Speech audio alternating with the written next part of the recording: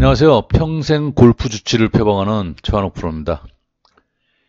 오늘 영상의 주인공은 투어 프로입니다.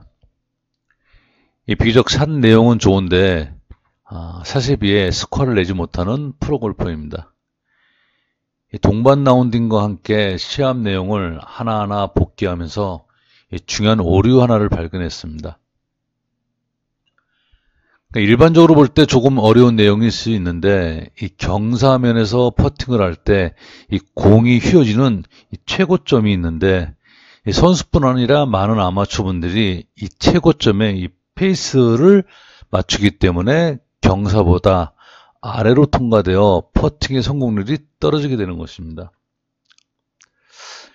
그래서 이 high point와 aim point에 대해 설명을 드리면 이 high point는 이 공이 경사를 타고 이 공이 휘어지는 최고점을 얘기를 하고 이 aim point는 페이스가 향하는 목표를 얘기를 합니다.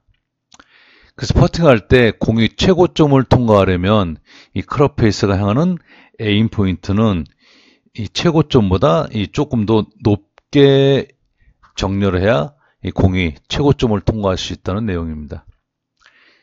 다시 말씀드려 공이 휘어지는 이 최고점에 페이스를 맞추면 항상 경사보다 적게 흐르게 되어 들어갈 확률이 떨어지고 이 최고점보다 aim point를 높게 정렬해야 공이 최고점을 통과해 이 퍼팅의 성공률을 높일 수 있다는 것입니다. 그 before 영상은 없지만 이 선 영상의 선수는 이 high point와 aim point의 구분 없이 이 적당히 퍼팅을 했고 이 퍼팅의 성공률이 떨어져 이 심리적 불안감도 생겼습니다. 그래서 after 영상처럼 high point와 aim point에 대해 정확하게 구분을 하고 이 그린을 읽는 능력과 함께 이 공이 이 최고점을 통과할 수 있도록 훈련을 했습니다. 많은 훈련이 필요하고 예민한 것이 퍼팅이지만 그래도 어떻게 연습해야 되는지 어, 연습 방향과 목표를 갖는 것은 중요합니다. 이 과정이 잘 이루어지면 이 퍼팅의 성공률과 함께 우승을 기대해 봅니다. 감사합니다.